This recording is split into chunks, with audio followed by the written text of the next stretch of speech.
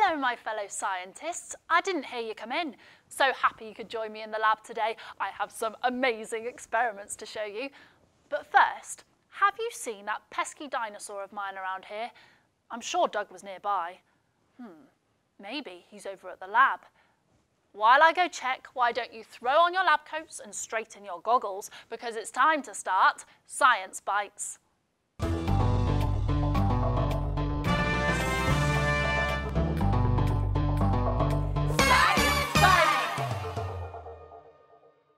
No, no, and no. It doesn't seem he's here either. Where could that cheeky dino be? Uh, hi there, Professor. Sorry about that. Um, also, it looks like we're all out of dynamite. Oh, Douglas, what did I tell you about playing with fire? It's dangerous. I'm really, really sorry, Prof. Oh, that's okay, Doug. But you should have been wearing your safety glasses, though. oh, yeah.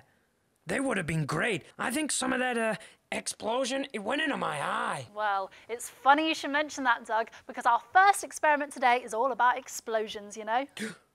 not again. That's because today we're going to make our very own volcano. volcano? Ah! Run away! Run away! No, no, come back here, you silly lizard. Look, this might take a while, so why don't you watch this and I'll try and rustle him up.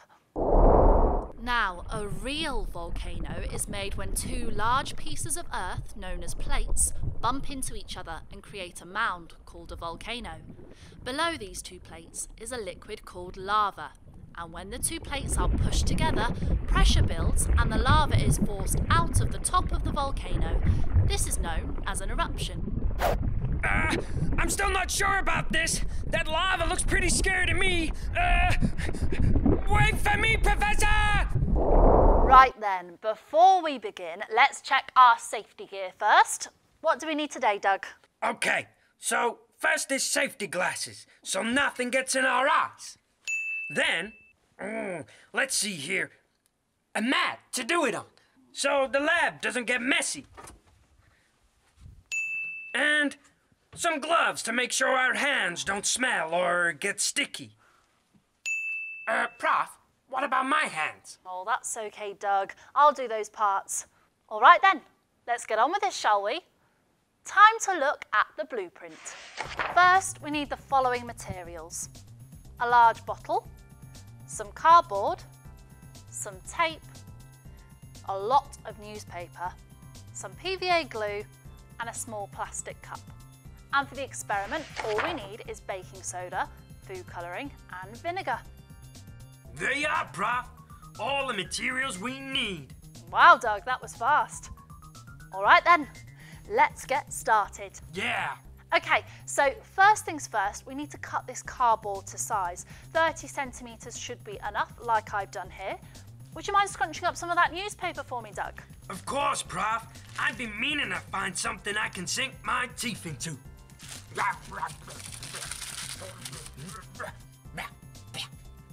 Looking good, Doug. Okay, now that the cardboard is done, we need to cut the top off of a large bottle. Now, you might need some help with this one, so feel free to ask an adult. I know Doug needs my help for this. Hey! So now we've cut the top off, we need to tape the bottle to the cardboard. There we are. And once this is done, we're going to be needing those newspaper balls, Doug. Here they are. So, why are you taping down the paper balls, Prof?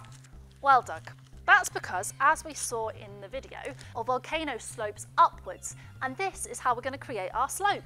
Oh, I get it now. Hey, it's starting to look a lot more like a mountain now. Exactly, Doug. And now, here comes the messy fun part. Now, you might want to put your gloves on for this so you don't get sticky fingers. I don't even have fingers. So you're going to tear up some newspaper strips and you're going to dunk it into the PVA glue and make sure it's fully covered. Then, when it's fully covered, stick it onto the volcano. And that's all there is to it. Looks like fun there, Prof.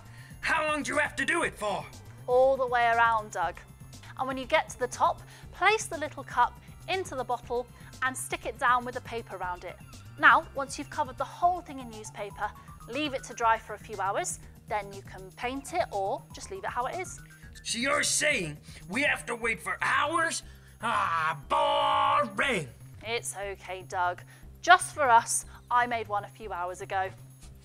And this is one I painted just like a volcano.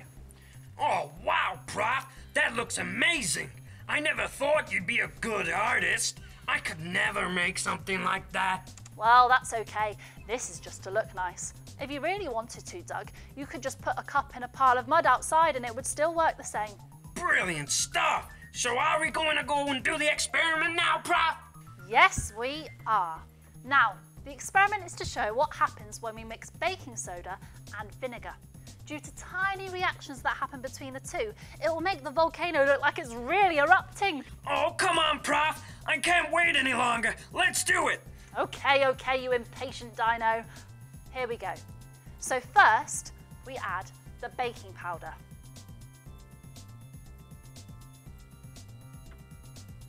Next, we add some food colouring.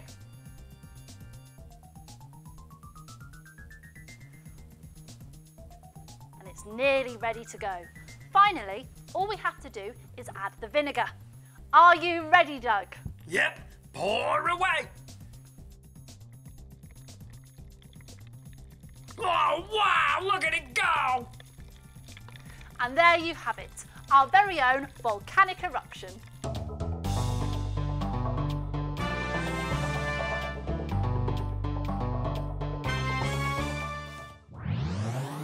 Well, Doug, that certainly was a lot of fun, wasn't it? Oh, yeah, Prof.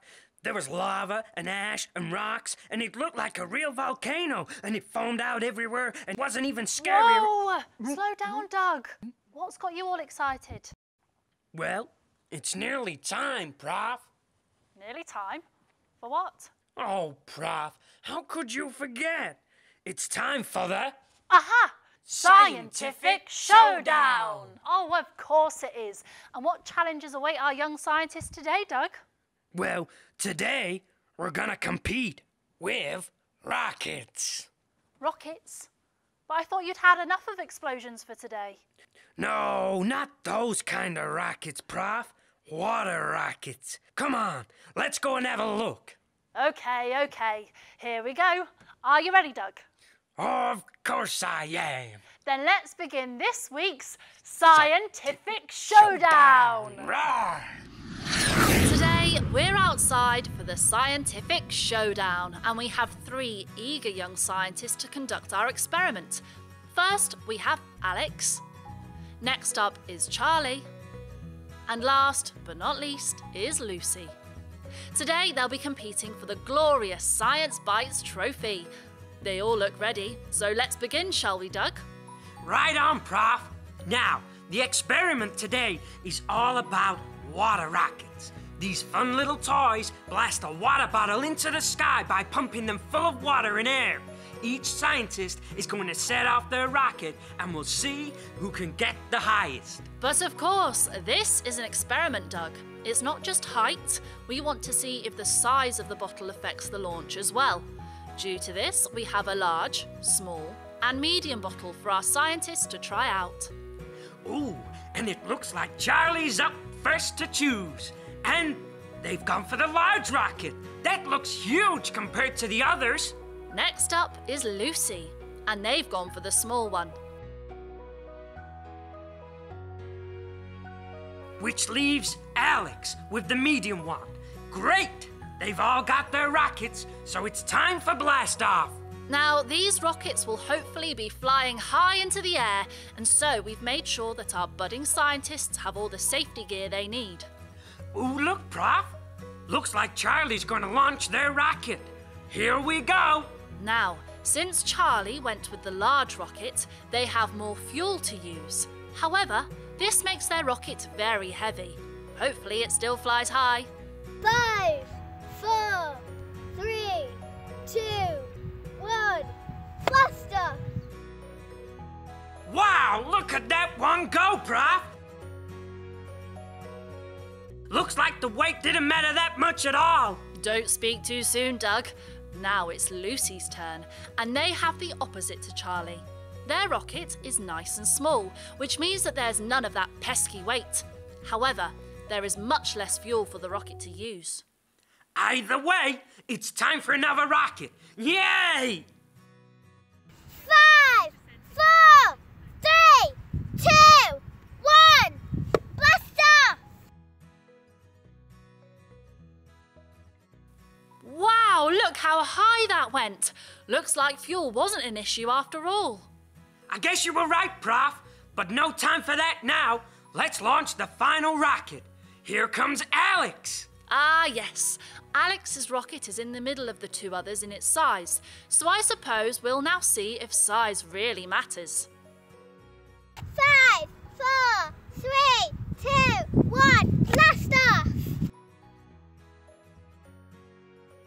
Oh, wow, would you look at that? It was a very good effort, but I think the small rocket still went the highest, Doug.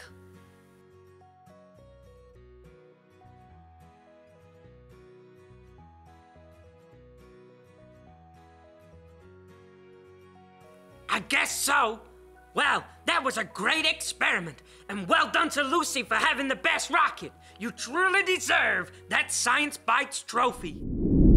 Wow, Prof, what an amazing day. We've had explosions, volcanoes, rockets. Oh, I just can't wait to see what's next. Well, I'm sorry, Doug, but that's all we have time for today. What? Yep, I'm afraid we're going to have to end it here. Ah, that's rubbish. I know, Doug. Time flies when you're conducting experiments. Anyway, thank you so much for joining us today. We hope you've had a good time. Yeah, thanks for helping us have some fun. And we learned some stuff along the way. See, Doug, I told you science could be entertaining. Well, you were certainly right there, Prof. I hope you all learnt something as well. Same here. See you next time. Say goodbye, Doug. Wait, where did you. Oh no, Doug, where did you find that dynamite? Uh, goodbye.